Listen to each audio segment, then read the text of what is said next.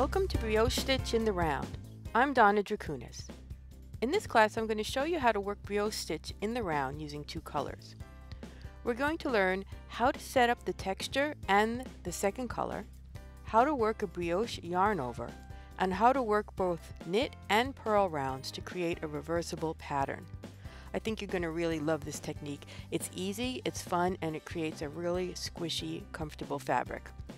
I live in the Northeast Kingdom of Vermont, 15 minutes from Canada actually, and I have a studio, a classroom, and a small yarn shop in my 150 year old farmhouse.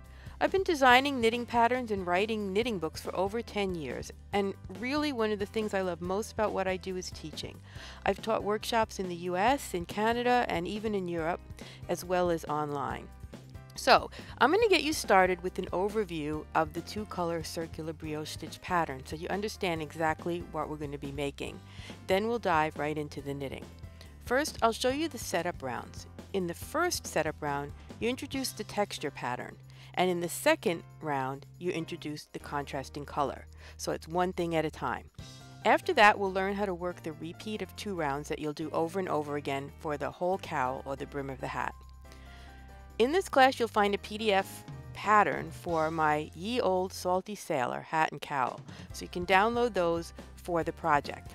And remember, you can ask questions and discuss the class with other students right here. And if you want to keep in touch with me outside of this classroom, you can follow along on my Ravelry group, which is fans of Donna Druchunas, or visit my website, sheep2shawl.com.